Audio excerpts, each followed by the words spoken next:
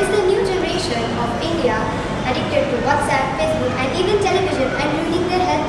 The answer is yes. Because according to a study conducted by NASA, it has been revealed that we ourselves are responsible for risking our lives. If we use excessively all the social networking apps, then we are reducing our lifespan by almost 2 to 3 years. But NASA has revealed a good solution to this problem.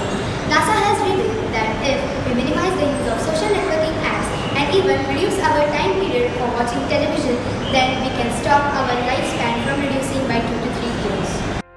India's WhatsApp users surprisingly crossed 70 million. Amazing, isn't it? But it is not a good fact. Many people use social networking sites such as WhatsApp, but do they know its ill effects? WhatsApp use leads to unnecessary health problems. Even in most of the free time, we see people prefer to update on social apps rather than themselves giving first priority to health consciousness. It also leads to unnecessary stress and mental tension. So, according to 2012 NASA study, we must make minimum use of WhatsApp or ban WhatsApp for a few days, thus contributing for the good health of our new generation.